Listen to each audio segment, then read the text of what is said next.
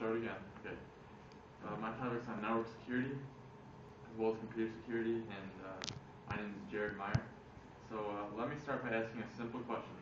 Did you know that by having your computer connected to any sort of network, or having your computer exposed in an open environment, leaves your computer open to security risks? These risks may result in loss or damage to computer hardware, software, confidential information, and data integrity, as well as network and internet availability. Local risks include theft, and when I say local, it means being defined to your own computer, um, and also access to your computer. Um, because of these risks, it's important to educate yourselves in the area of security awareness, especially if information stored on your computer or any computer in your area is um, important.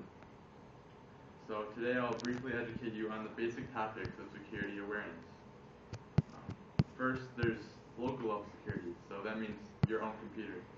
Okay, so depending on the operating system, uh, which is usually Windows or Macintosh, it's important to configure a strong password on your user account. And then when you're not at your computer, to lock or perform some sort of lock option. So when you leave your computer, there's a screen that you have to enter your password to get back into your account. Um, and when I say strong password, that means long and complex with characters. Um, also, some devices such as laptops have locks on the physical hardware um, of the device, and Biometric scanners such as fingerprint scanners and retina scanners are being more commonly used today. Make sure you have a local firewall enabled for your computer, as well as anti-malware as an anti-malware program such as AVG, McAfee.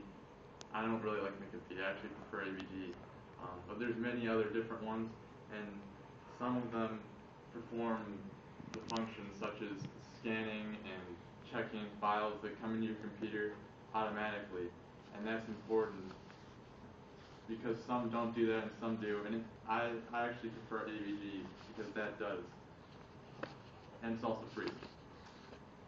Uh, when I say malware, I, uh, I mean things such as spyware, viruses, worms, and these things could be discussed further, but for the time restraints of this discussion, I will not discuss these. Uh, it's also important last but not least, to back up your data that's important to you.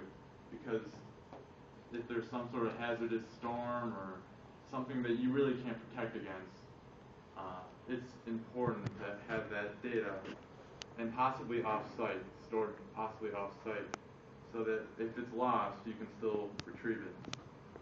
Now, there's network security, and this is, I, I, I do network security here, so I'm pretty pretty well educated in it. This is a basic model. Say this is your network at home, and this is a called a firewall. And usually a router here provides that firewall, and that's so nothing from the internet can come in, and uh, such as an attacker or a hacker, so they can't come into your network. That's just an example.